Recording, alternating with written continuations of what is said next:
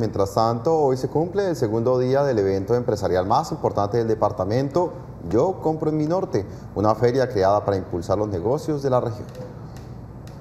Desde este jueves hasta el sábado 11 de junio, Cúcuta será epicentro del evento comercial y turístico Yo Compro en Mi Norte, en las instalaciones de la Biblioteca Julio Pérez Ferrero, para mostrar el trabajo de micro, medianas y grandes empresas del departamento.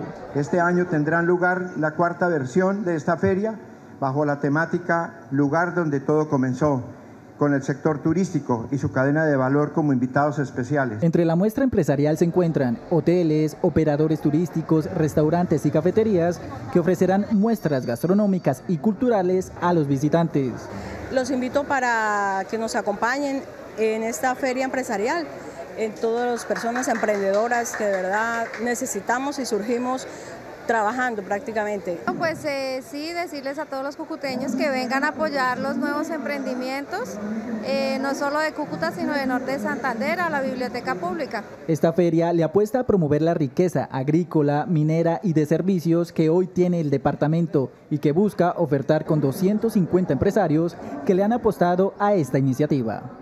Pero claro, por supuesto que están bienvenidísimos todos. Son tres días que van a haber eventos culturales y participación de maravillosos emprendimientos donde van a poder conseguir de todo, artesanías, comida y diferentes actividades acá en la biblioteca pública. Entonces, bienvenidos todos para que nos apoyen. Yo Compro en mi norte se realizará durante tres días y busca un relacionamiento comercial que le permita abrir nuevos mercados en el país y también trazar una ruta hacia el exterior.